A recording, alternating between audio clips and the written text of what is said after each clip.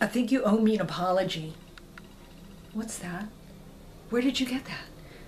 I told you to forget about him. Now, where did you get that? Did you steal it? He left it for me. It's a sign. No, Claudia. This is a poor mother giving away her six sons' unused toys. Now, give it to me. Give it to me now. Most of the time, I'm a brave pirate,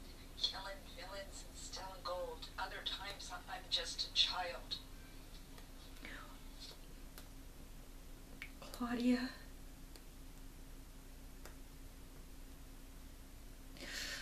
Enough.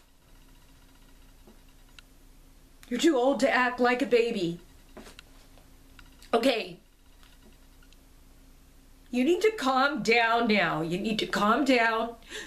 Do you want me to give you another timeout? Fine. Just fine. What do you want?